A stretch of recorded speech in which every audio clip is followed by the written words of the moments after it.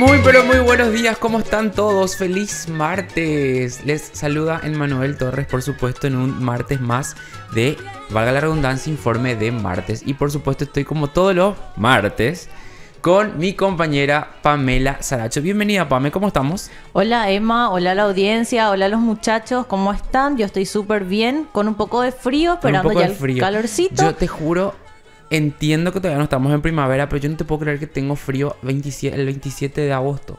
Yo no sé qué está pasando. Te juro, pero bueno. No conspira a nuestro favor el tiempo, no conspira para nada. Y así, contándote rápido y pronto, este fin de eh, estuve de cumple y me fui a un lugar donde había piscina. No me pude, no pude entrar. Ay, Dios mío. eso, eso sí es, eso sí es feo. Eso es, te juro. Pero el clima, en fin, en fin. Pero nosotros vamos hoy a celebrar, además de todo, el Día de la Guaranía. Hoy se recuerda el Día de la Guaranía. La Guaranía, este género musical nacional que a todos nos gusta, creo yo. ¿A vos te gusta la guaraña? Yo amo, amo la guaraña. Yo creo que es lo más autóctono, lo más nuestro, en, musicalmente hablando. Y tenemos muchísimas guarañas súper mega famosas. Recuerdo de, Pacaraí es una de ellas que se cantó alrededor del mundo, se sigue cantando alrededor del mundo. Y también Mis Noches Sin Ti, que es una de posiblemente las guarañas también más famosas y, recordadas de nuestro país. ¿Vos, vos cantabas, Pame? Sí, sí, sí. Canto ¿No cantar un pedacito Hace mucho no canto. Ya soy, como yo siempre digo, ya soy cantante retirada. Retirada. retirada. Jubilada. No, no, querés cantar un pedacito en honor al, Día de la Guaraña? Si arrancamos ya con todo. Bueno, eh, realmente... No, es mentira. Sí, sí, sí. eh, te voy a regalar un pedacito de eh, Mis Noches Sin Ti. Mis Noches Sin Ti. Acá, por ejemplo, tenemos imágenes en las que estaban poniendo... Estos recuerdos de Pacaraí era para un concurso a nivel nacional que se había hecho en Ecos de una guaraña, exactamente. Y en un solo video promocional se juntaron artistas em, nacionales super, hiper, megas importantes para anunciar la campaña de, esta, de este concurso. Y da la casualidad que hay unos amigos míos que ganaron este concurso hicieron su versión son de Pacaraí. Sí, Vía. En Bianca, Bianca justamente, ella es vocalista de la banda en Barete, de rock, rock, Y ellos hicieron la versión de Recuerdos de Pacaraí, terminaron ganando este concurso. Y, y, bueno, estamos más o menos recordando lo que había sucedido porque los jóvenes, y digo los jóvenes y el tipo, bueno, nosotros los jóvenes, realmente valoramos muchísimo al en la guarani la música paraguaya yo siempre le contradigo a, los mayores que dicen que los jóvenes no enaltecen su cultura o no siguen escuchando la música nacional porque realmente se escucha mucho. Vos ves, más allá de las guaranías también, conciertos de rock nacional y hay muchísima gente que gritan, corea las canciones. En serio, yo veo que nosotros los jóvenes apoyamos mucho también en la industria nacional. Lo que pasa generalmente con eh, la gente mayor, ¿verdad?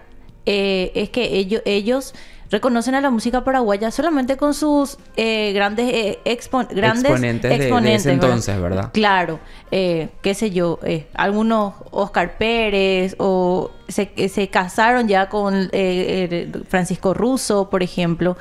Y otras figuras, Luis Alberto, por ejemplo, porque algunos sí tuvieron el privilegio de, qué sé yo, verlo en su mejor tiempo, ¿verdad? Nosotros ya no tuvimos ese privilegio, pero ahora vienen nuevas corrientes, ¿verdad? Nuevas corrientes, obviamente todo se adapta a los cambios. Eh, le tenemos a Néstor Lo, por ejemplo, que para mí es un capísimo que está prácticamente renovando lo que es el cancionero paraguayo Tierra Adentro, que la está remando. El nominado al Latin Grammy. Claro que no es, eh, no es poca cosa. No es poca cosa, exactamente. Y, y de esta forma es en que la misma industria musical se, se toma la cultura nacional y lo expone al mundo y también es muy bien recibida a nivel local por los que escuchan y los que siguen este, estas bandas. Claro, muchas veces también escuchamos que dicen, no, ¿por qué? ¿Por qué, ¿Por qué tanto show? ¿O por qué tanto? Es que eso le gusta a la gente y eso es lo que hace que la música paraguaya llegue a la gente, al público al final. Es que simplemente los tiempos, tus tiempos, no son mis tiempos. Así. Esto cambia, rota y, y la vida en general es así. Pero lo importante y, y lo que siempre tiene que mantenerse es la esencia de nuestra música que yo honestamente creo que se, que se, que se, se sostiene aún. Pero yo creo que con esta, justamente con esta nueva generación que, que hace años ya se está instalando y que realmente eh, la están remando, yo creo que se instaló un poquito más el amor a la música paraguaya. A la música paraguaya. eh, eh, pasado, o sea, en días pasados estuve viendo, eh, o suelo entrar generalmente a las páginas a ver eh, realmente lo que está haciendo esta gente, la gente nueva, ¿verdad? Y me llamó muchísimo la atención eh, el DJ Indio Rubio. Ajá. Porque él en medio de todo lo que es su show, él siempre algo de música paraguaya. ¿verdad? Obviamente ya mezclado con otros estilos. Con el pero la gente, tunchi, tunchi. Claro, pero la gente corea, ¿verdad? Entonces, cuando uno está escuchando en la calle alguna polka o, o india, por ejemplo, que es una de las guaranías así tipo muy más representativas de- del Paraguay, ¿verdad?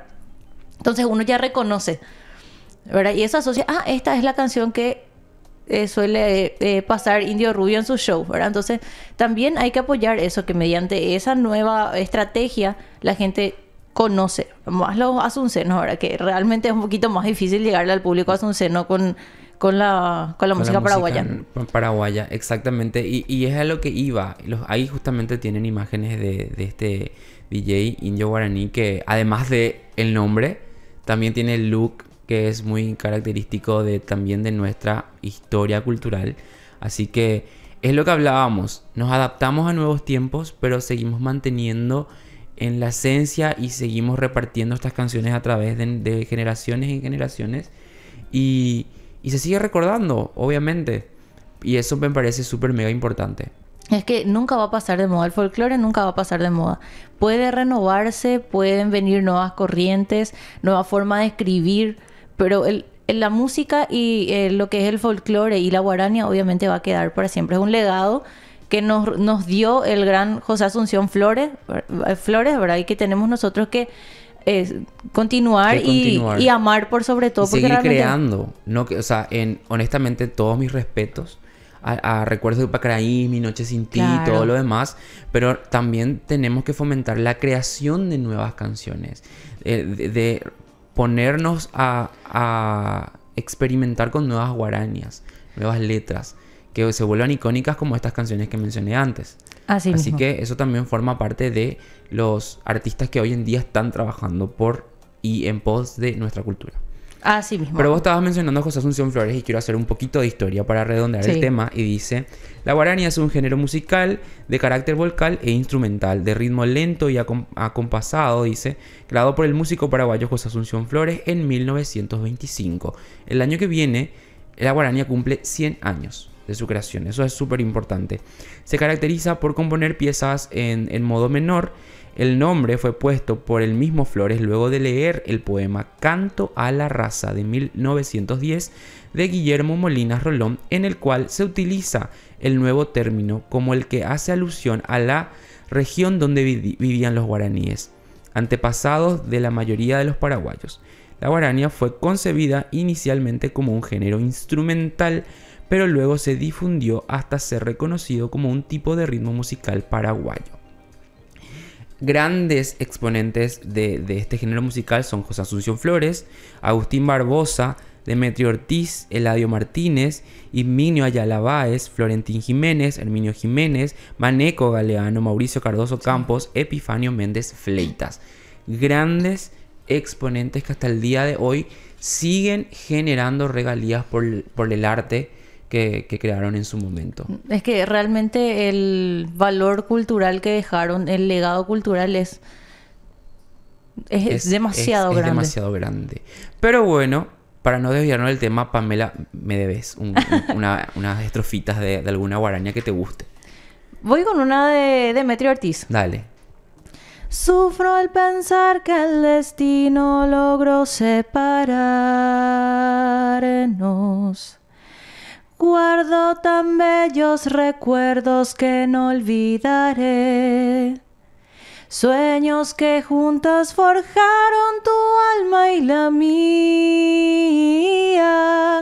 Y en las horas de dicha infinita que añoro en mi canto y no han de volver. ¡Qué hermoso! No es fácil cantar de encanta. mañana, eso, eso aclaro. Asado, dicen los chicos. Honestamente, qué, qué, qué, qué lindo cantar. Gracias, gracias, Qué gracias. lindo cantás y qué lindo homenaje le estamos haciendo a la guaraña de paso, ¿verdad? Y em, agregando un poco más a esto, en nosotros en BM Online contamos con un equipo gigante. Y hay equipos de, de redes sociales, Belén Campos, Tiago Gamarra, ambos salieron a las calles a preguntarle así a un grupito de personas si reconoce alguna guaraña, porque teníamos la duda, me dicen los chicos cuando tienen esta idea, me dicen, em, queremos salir a preguntar, y le digo, yo traten de captar jóvenes y veamos si conocen, si saben, si, si registran alguna guaraña. Y hablábamos de que solamente iban a quedar con recuerdos de Pacaray y mis noches sin ti. Pero antes de seguir contándote, vamos a ver este material y Podemos, después. podemos debatir un poco antes. o sea, Claro, no es debatir, dime. sino vamos a tirar una pequeña apuesta. ¿Qué A ver. decís vos? ¿Cuál fue? el- Yo todavía no vi el material, aclaro. No, yo tampoco. ¿Viste ya el material? No, tampoco. Yo creo que sí conocen más que solo dos canciones. Yo espero que sí. Honestamente, me me cuesta un poco creer.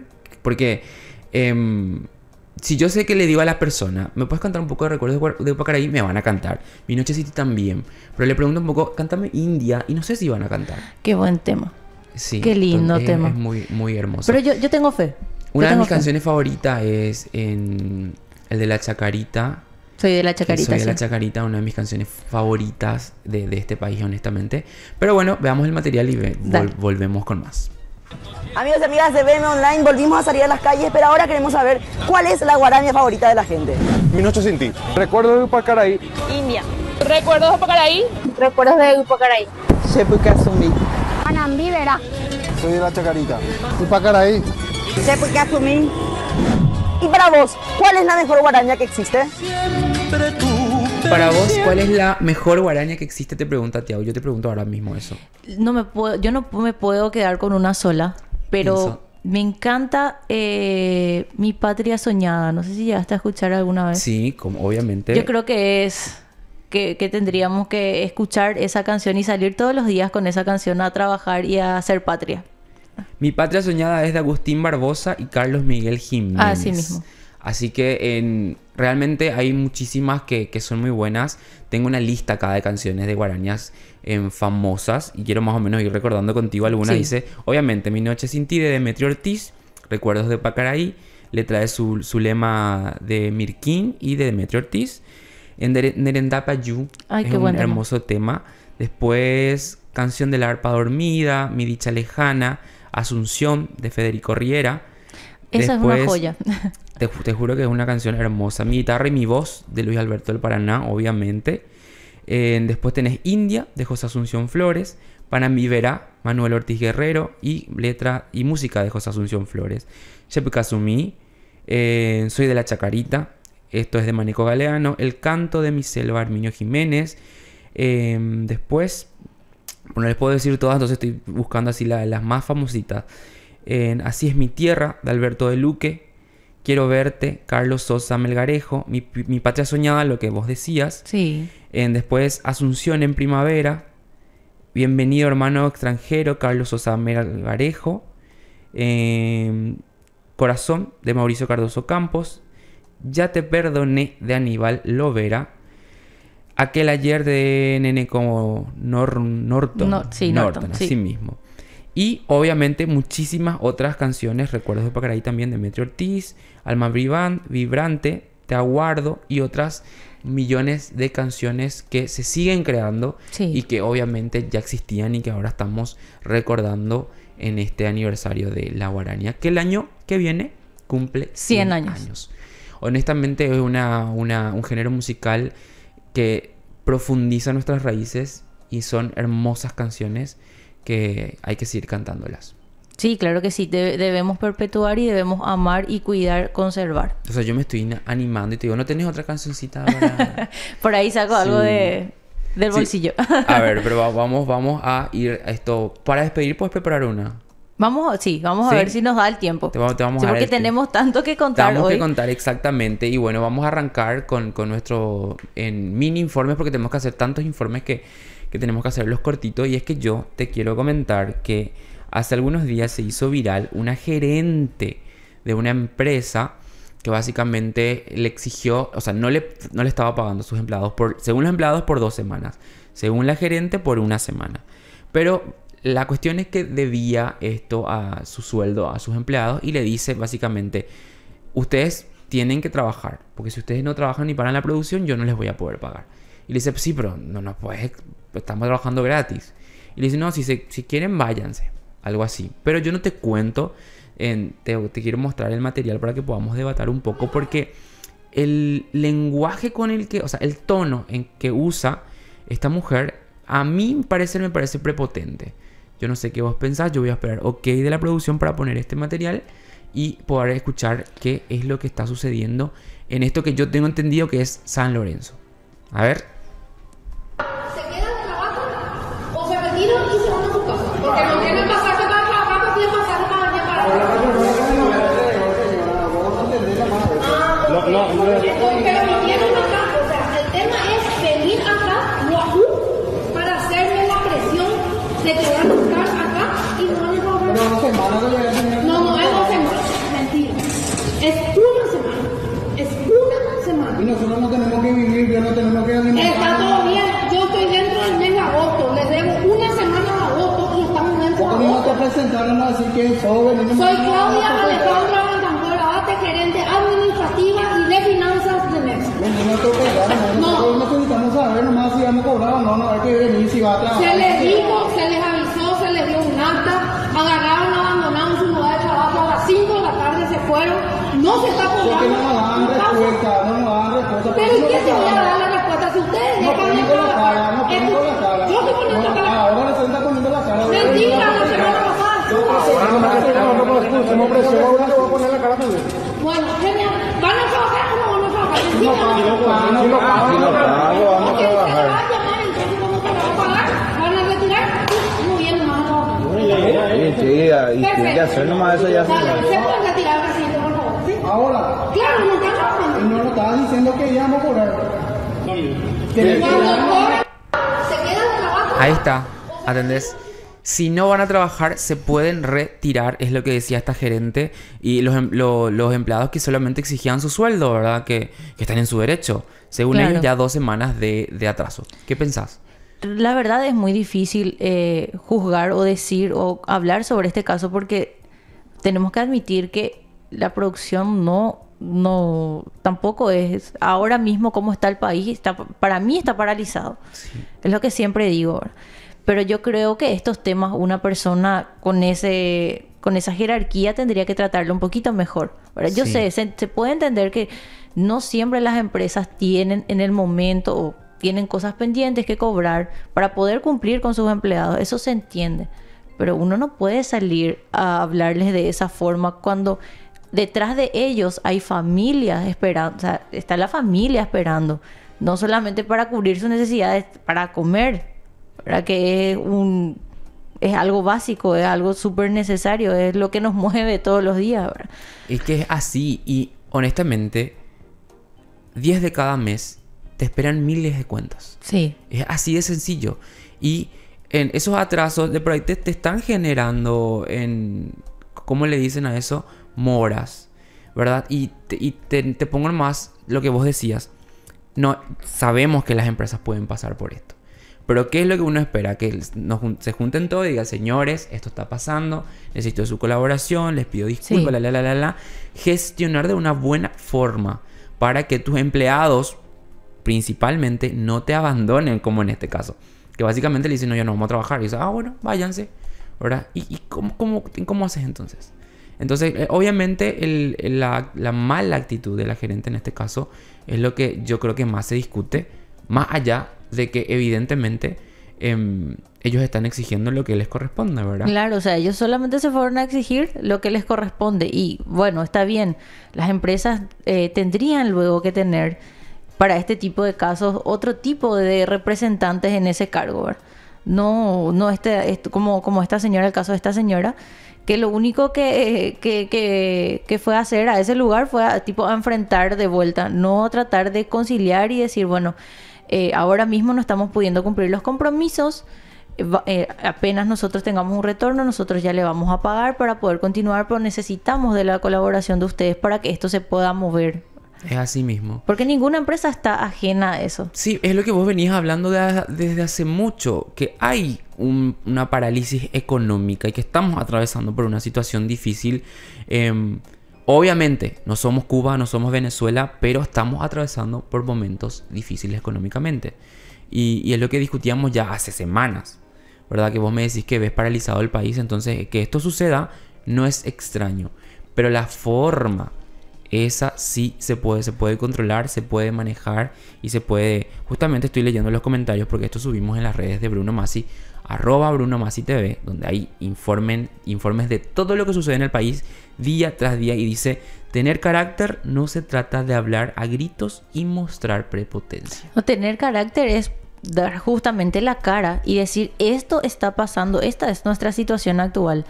Y ante esto nosotros tenemos que trabajar, seguir trabajando y nosotros apenas tengamos un respiro, ya vamos a estar cumpliendo con ustedes, pero por favor, o sea, es hablarle también y mostrar también el lado vulnerable, porque no todas las empresas son del todo, eh, no todas las empresas, todas las empresas pueden caer, o sea, todos somos vulnerables, hasta las empresas más grandes son vulnerables.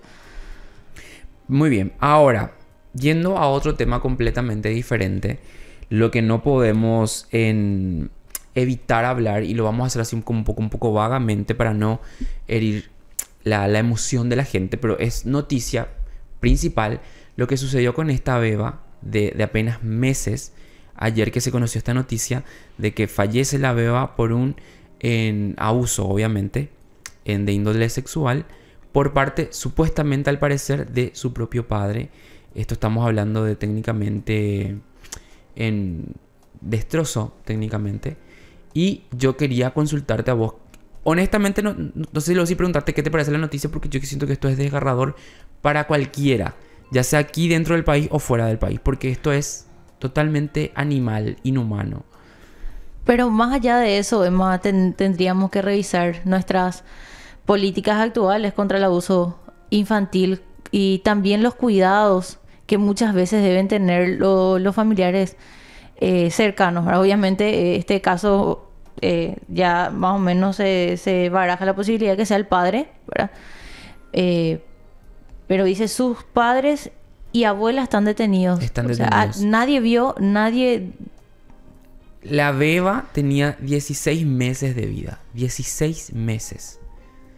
Y eh, el fiscal, justamente el caso salió a, decir en, la- en- en los medios, dijo, realmente no son padres, son monstruos. Justamente estaba contando la anécdota de que, en, obviamente, le, le retiran e- el pañal y ya era evidente y extremadamente evidente lo que había sucedido, que incluso los asistentes del fiscal tuvieron que salir porque se sintieron con náuseas y, y obviamente ya ustedes sacan sus conclusiones.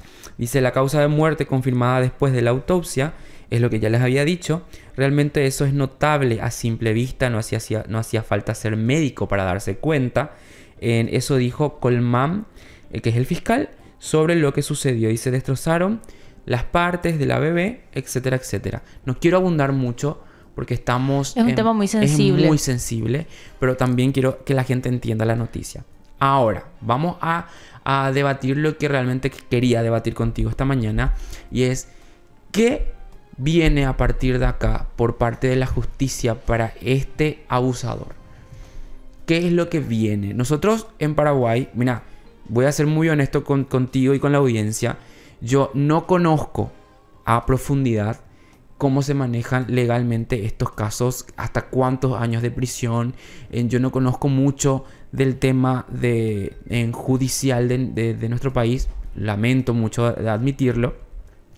Pero preguntaba, ¿esto así, en, imaginariamente, merece pena de muerte, castración química, em, cadena perpetua o es una condena de 24 o 50 años de prisión?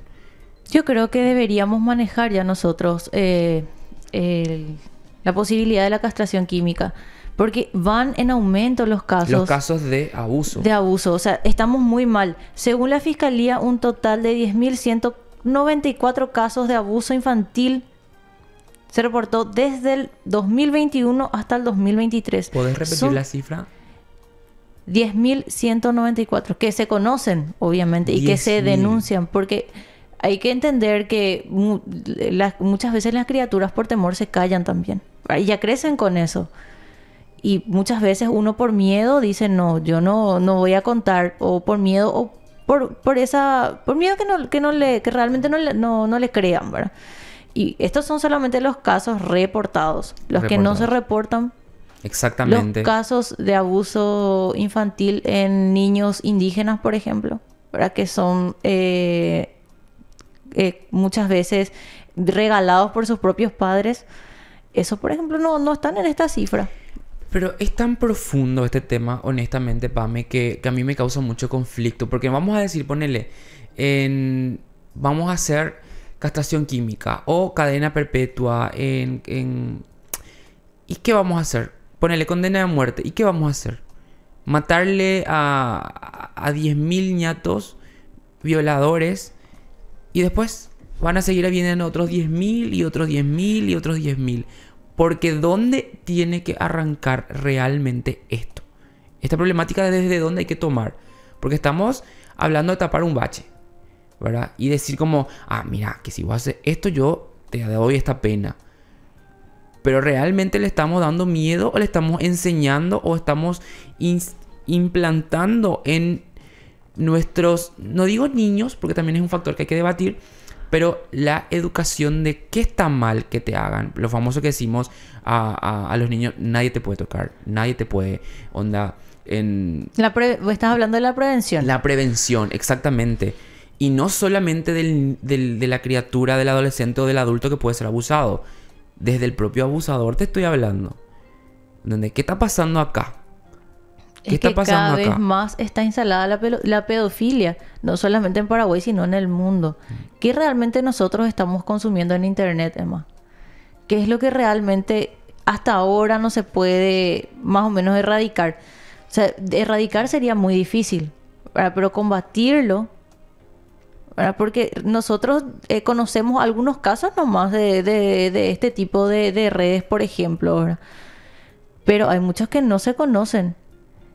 Es Y hay muchas personas involucradas, no solamente los abusadores, sino también actores de, de distintos tipos, ¿verdad? De que, com- que componen la sociedad.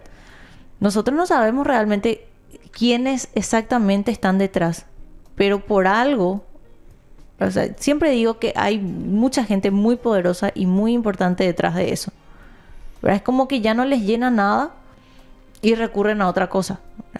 Y Lastimosamente es así, es, es hablar crudamente. lamentable. Y hay que, de vuelta, porque quiero apuntar directamente a la prevención. Y esto tienen en, tiene cuatro factores. En realidad cinco vamos a ponerle. ¿Cuáles son? Para mí. Enseñarle primero a, la- a los, a los chicos que no se puede, en uno no puede ser invadido personalmente. Y menos en tocar y qué sé yo, todas esas cosas. Para empezar, prevenir desde el punto de esto no te pueden hacer.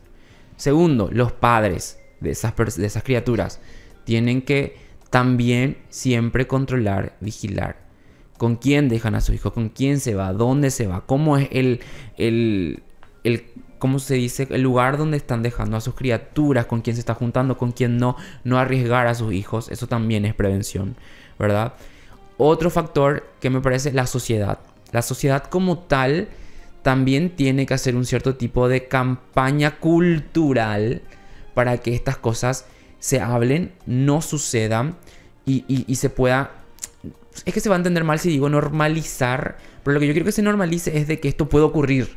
Entonces prevenir, ¿verdad? Después, en no sé cuántos factores ya te dije. Que te dije, los niños, los padres, la sociedad. Después, evidentemente, en el Estado. El Estado, que yo o entiendo, me van a decir que hace cosas, que sí fomenta, que sea, yo entiendo.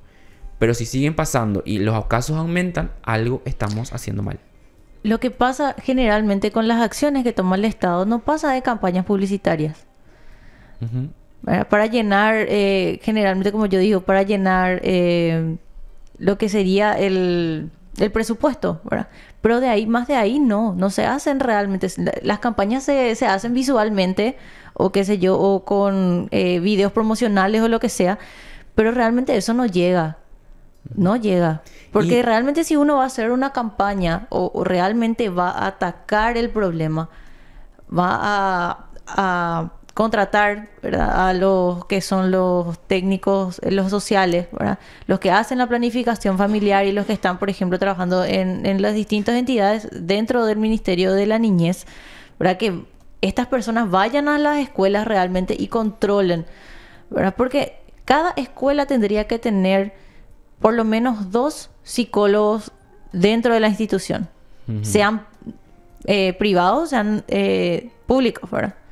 Yo creo que eso tendrían que ver de instalar, porque nosotros, yo por ejemplo pasé eh, mi, educación básica y mi educación secundaria sin eso. Nosotros en una escuela pública no teníamos un- una persona que esté encargada de, de cuidar la salud mental de, de los alumnos o de ver en qué andaban los alumnos, ¿verdad? Eran los propios profesores que, aparte de su trabajo, si veían algo raro o algo en tus calificaciones que a ellos no les cuadraba, ellos hacían de, de, de psicólogo, de decir qué pasa, qué pasa en tu casa, qué te pasa, por qué estás así. Entonces eso hay que ver, que no solamente queden campañas publicitarias de, de lazos y demás, eso tiene que trascender y se tiene que trabajar en serio. Es así. Y, y tengo así como varios puntos que quiero decirte. Para empezar luego, la salud mental es algo preponderante en esto. Sí. Realmente, y, y- y me arriesgo a sentenciar lo que te voy a decir, nuestra generación pasada olvidó completamente lo que es salud mental.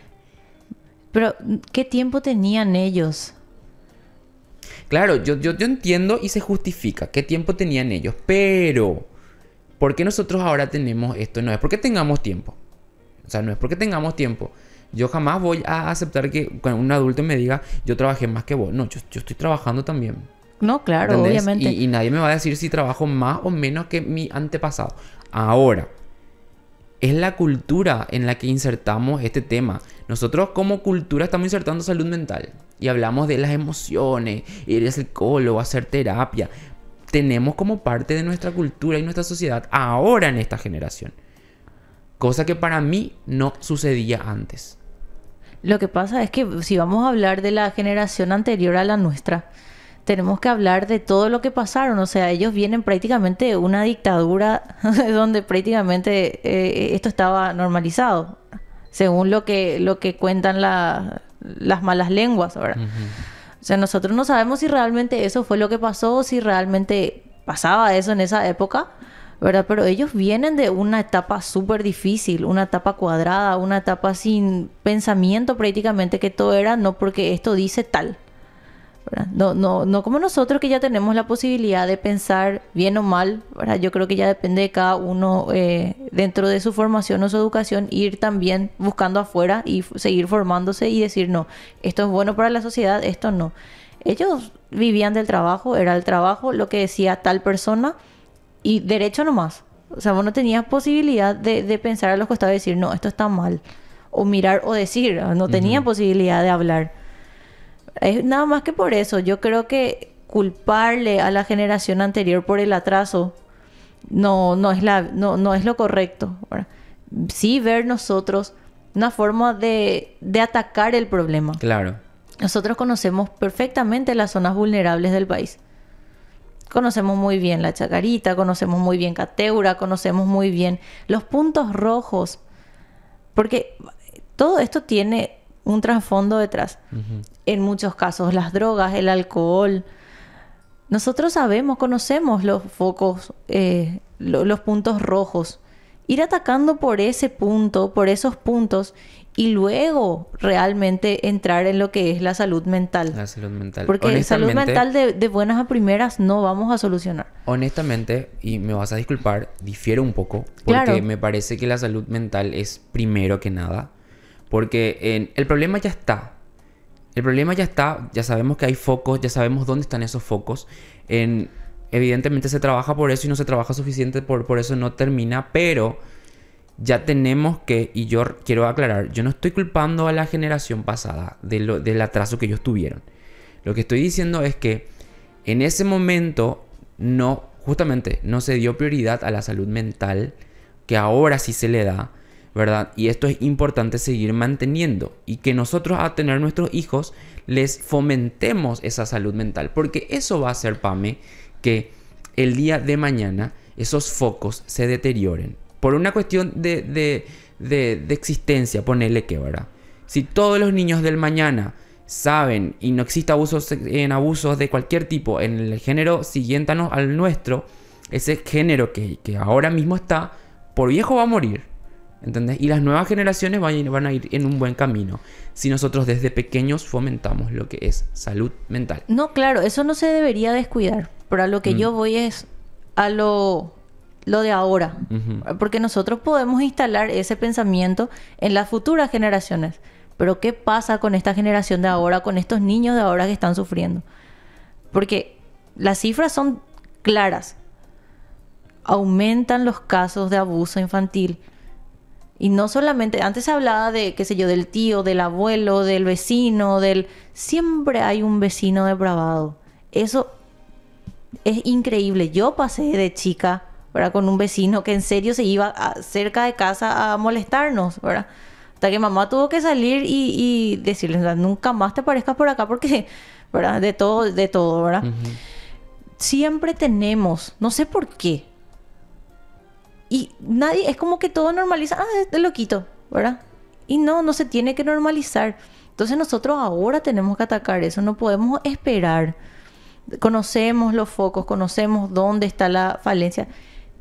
El ministerio tiene todos los registros. No puede ser que hasta ahora no hagan nada.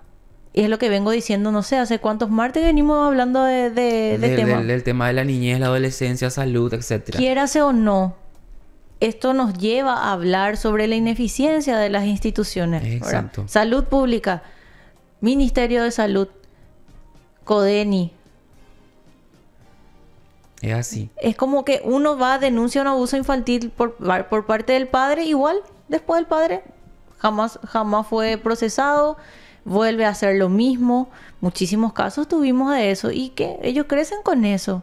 Y después ven al hermanito que está pasando por la misma cosa y bueno, ya normalizan, yo también pasé por eso. Y no, no es cuestión de normalizar, es cuestión de atacar y tomar en serio. Es así mismo y de vuelta voy con la implicancia de los cinco factores que les dije, ¿verdad? La sociedad que tiene que hacer, denunciar, ve, denuncia, no es que ve y se calla. Ese es uno de los factores que le dije.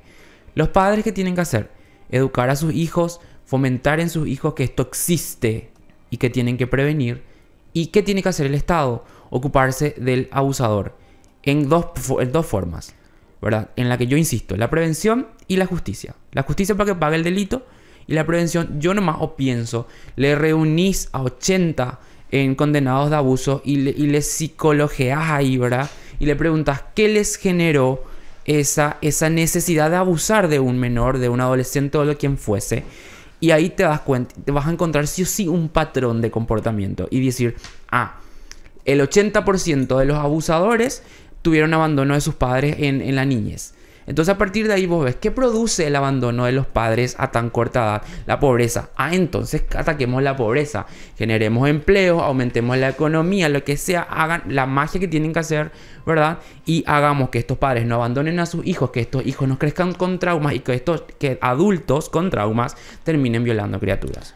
O sea, a eso es lo que yo voy con la prevención, porque nunca se va a atacar si lo que hacemos es tapar nomás el bache. No, claro, pero sí hay que reconocer que nuestra justicia está totalmente ausente. Muy pocos son los casos que nosotros conocemos que realmente fueron abusadores que fueron procesados, por ejemplo. Muy, muy pocos son los casos, muy pocos son los registros o, o escaso es el seguimiento que a veces se le da a cada caso. Y es así, lamentablemente es y así. las penas, las penas dan pena. ¿Qué cinco años? En cinco años la persona sale y vuelve a hacer lo mismo. Yo creo que una persona que abusó, una persona que es vulnerable, porque no- las criaturas son vulnerables, yo creo que ya no debería tener perdón. O es cadena perpetua, castración química. Esa gente ya no se va a reinsertar a la sociedad, Manuel. Hay que ser sincero. Es- sí, es así. Y nosotros no tenemos luego sistema de reinserción en el país. Entonces, ¿de qué estamos hablando? Es cortar el problema de raíz una vez que aparece el problema, obviamente sin descuidar lo que es la salud mental.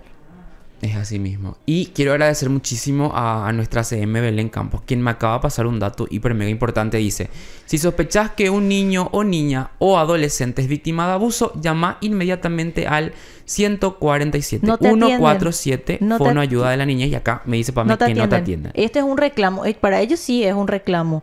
Porque yo varias veces llamé al ver eh, niños indígenas en la calle, ¿verdad? En, en situaciones que uno realmente no, no, no quiere salir de su casa y ver eso. Y no atienden. No atienden. Llamas bueno. cinco veces y uno muchas veces está súper apurado. Yo tenía que llegar al trabajo. Me quedé ahí 10 minutos esperando que alguien me atienda. Y le di, me, me, me contesta eh, eh, la, la chica detrás y me dice, eh, pero ¿cuál es la ubicación? Muchas veces uno está en un lugar y ni siquiera sabe dónde está. O sea, uno se bajó, ve un caso, por ejemplo, de una criatura tirada en el piso, ¿verdad? No sabe a qué comisaría llamar, el 911 tampoco contesta, porque muchísimas veces llamé al 911, nunca me contestaron tampoco. Y le digo, no puede ser que ustedes no tengan un sistema de, de- de ubicación o rastreo de llamada. Tendrían, en cinco minutos ya tendrían que estar todas las patrullas ahí. Ver- con un asistente social viendo qué es lo que ocurre y por qué esa criatura está en esa situación. Y de ahí partir, buscar a los padres, a los responsables y de ahí tomar las cartas en el asunto. O sea, está bien, tendremos que recurrir al 147, pero muchas veces no atienden. Señora, señor, joven, joven, en lo que están mirando la pantalla ahora mismo y cómo nosotros podemos ayudar a esto.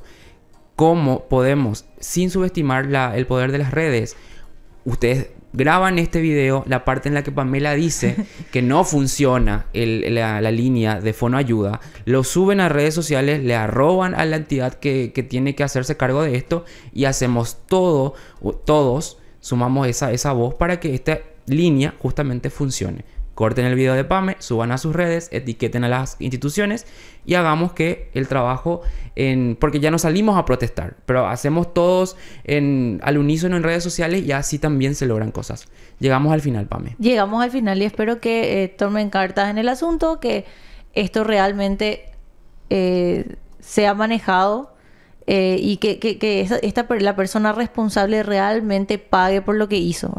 Es un tema muy sensible, Emma, me quedo muy, muy sensible, pero espero también que la gente de- en sus casas tome conciencia y que realmente poda- pode- podamos reclamar esto que está pasando, porque no es el único caso que tenemos. Es así, feliz día de la Guarania, qué, qué- hermoso cantaste. Gracias, Así que gracias. muchas gracias por, por deleitarnos con tu voz, así que muchas gracias gente por estar acá. Ya viene Bruno Masi con muchísimo más invitados de lujo y eh, nos vemos el próximo martes. Nos vemos. Con más Chau, música, chau chau.